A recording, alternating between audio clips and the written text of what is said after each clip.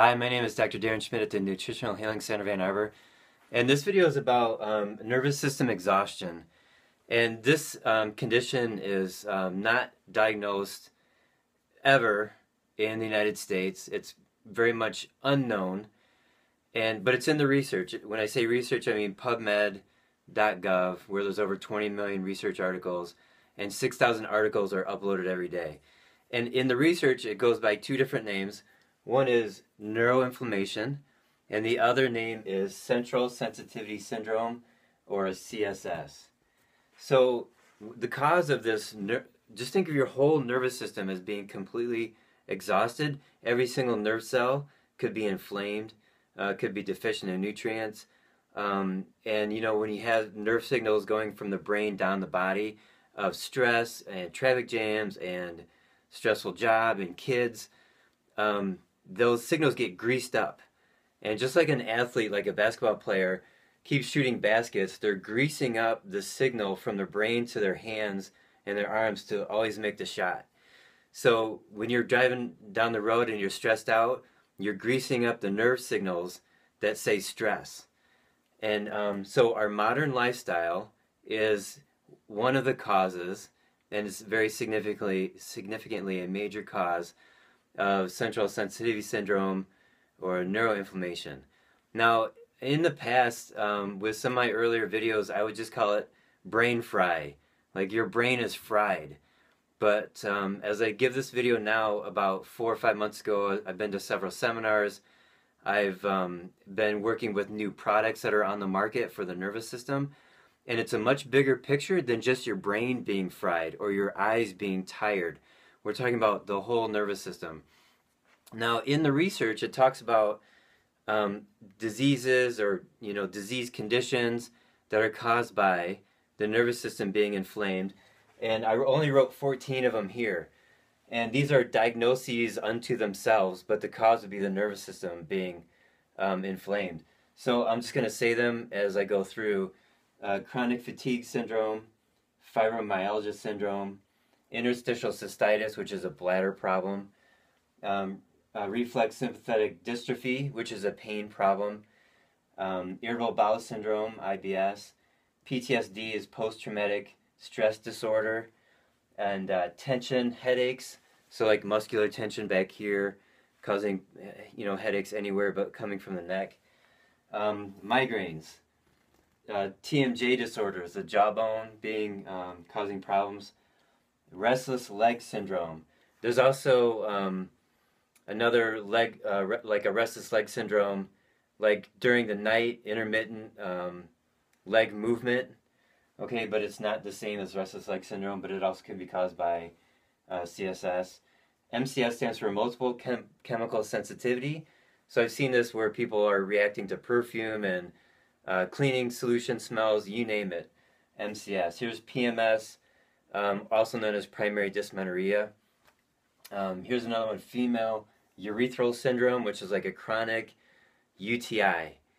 And I've seen this now with this new information. I've had women who um, we took care of their um, UTI using supplements for the immune system.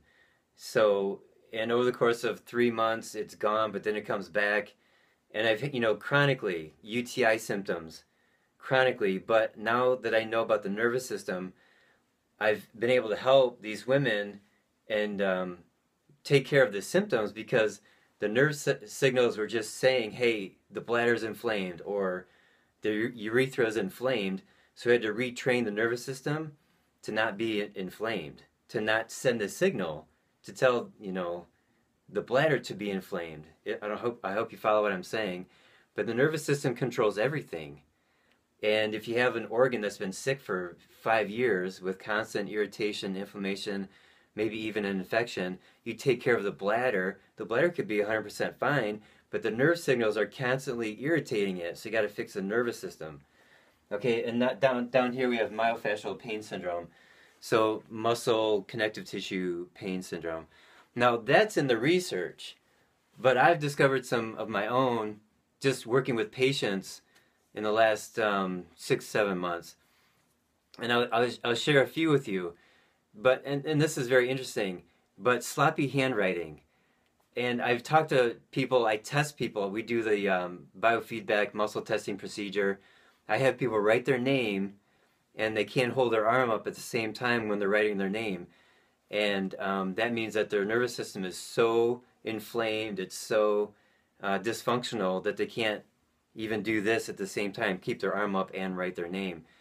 So, and when I do this, their arm goes weak. They say, you know, my handwriting used to be so nice. And um, over the years, it's gotten sloppier and sloppier. That's your nervous system.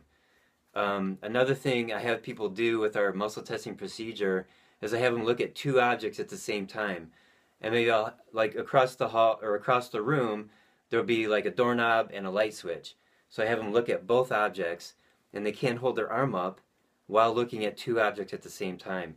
And then I find a supplement for them and I have several options, but they hold on to the supplement and then they look at the two objects and they can keep their arm up and they feel it. They feel their eye, eyes are working better. The signals in their brain are smoother. And even if they're looking at two objects, their eyes are going back and forth. They can hold their arm up at the same time. I actually have discovered 18 different testing procedures where people have to hold their arm up. Another example is I just say their name and they're listening and their arm goes weak. Or they say their name and their arm goes weak. They can't hold it up. And I personally have been through this myself. Uh, my fiance is uh, a chiropractor. She does the same work that I do. And um, she tested me with, you know, with this procedure.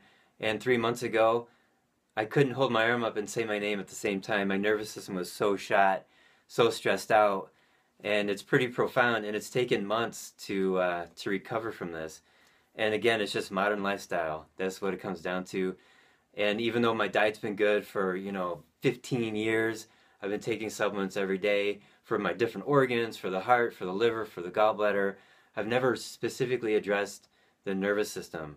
And um, one other point, like being a chiropractor, um, I'm trained to um, adjust the spine and adjust like one segment of the spine to relieve the pressure off the nerve. And um, it's very, you know, obviously it's very therapeutic.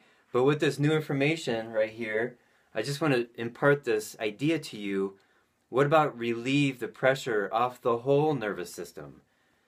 So chiropractic adjustments help those the spine.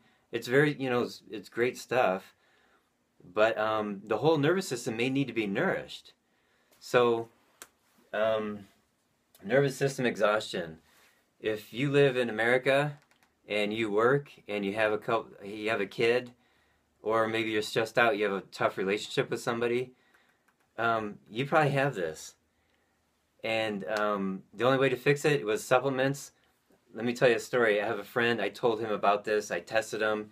He was weak, um, just listening or talking, and I uh, recommended some supplements. Within a week, he already felt better. But he's a triathlete, so he's always exercising. He told me that he would wake up in the morning feeling tired, so he would go run six miles to try to wake up his body. Well, with this information, he, he realized that's not what he needs to do. He needs to relax. He needs to rest and prevent inflammation in the body. He's still a triathlete. He still competes, but um, currently he's doing uh, shorter competitions and he's um, resting appropriately and he's not overdoing anything. So if you're into um, sort of like calming, stress relieving activities, you may um, want to look at doing that more for this um, condition. And it's not a matter of going to the gym to exercise more or uh, starting running or anything like that. You may want to calm, you know, slow down, do less exercise. So I hope this this is extremely important. If you know anybody that's stressed out, you know, send this to them. Um, and if you need help, you can contact us here in Ann Arbor. And I'm trying to get the I'm trying to spread the word as much as I can. This is extremely important and I only really got into it um, in June and July of 2015. As I record this video, it's it's um, mid-December 2015, so it's only been six months, and it's super profound. So I hope this helps, and please uh, spread the word. Thanks.